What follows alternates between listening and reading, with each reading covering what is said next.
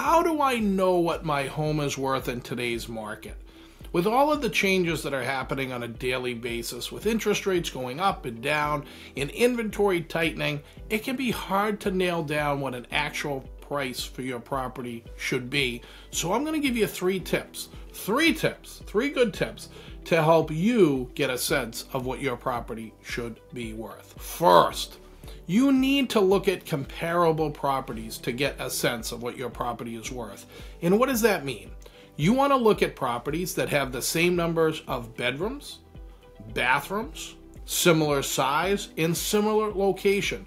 We don't want to go outside of a quarter of a mile from the location of your home, and you want to study those numbers and then apply their square footage sale number to yours. The second you can always get an appraisal from a professional appraiser, or you can hire a real estate broker like me or agents in our company that can give you a full analysis of the property. We're going to go through and do a full comparative market analysis, like we discussed, but in really great detail to help you narrow down what your home is actually worth. And then the final trick you can go to the third party websites. Now, listen, they're not all accurate, that's for sure.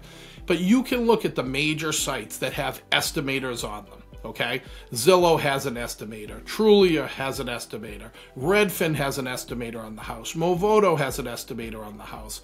All of these large third party companies will give you an estimate of what your home is worth.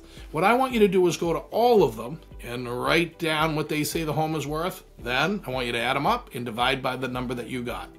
So if you went to three major sites and one said your house was worth 600, one said 625, and one said 650, we're going to add up those three numbers and divide by three, and that's going to give you a range. It's not going to be perfect because the sites are not perfect, but that's one way to at least get a range of where you should be before you talk to a broker like me who can really lock it down and give you detail.